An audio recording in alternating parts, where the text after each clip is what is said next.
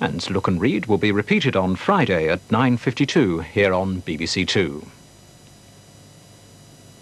Our second programme this morning takes a look at the way the weather forecasts are predicted, investigating science in just over two minutes.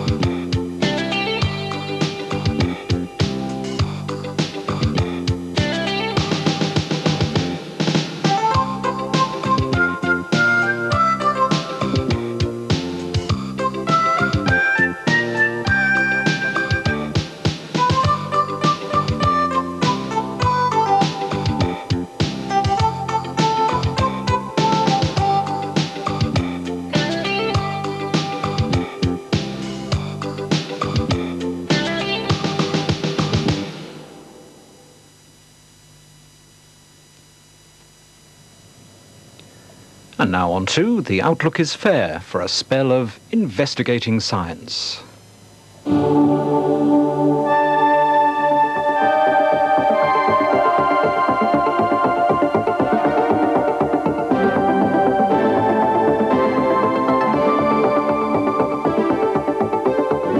go, gents, I think. Stand by studio, please. Five seconds now. Five, four, three, two, one.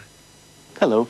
There was a real touch of spring, at least in southern districts today, with Folkestone having a magnificent eight and a half hours of sunshine, very close to the theoretical maximum. Gamma 947 vacate right, one vacated ground 1218. I'm on at 676 on. One thing you need to know about when you're flying an aircraft is the weather. 676, the surface wind 24010 knots, you are cleared takeoff 26 left.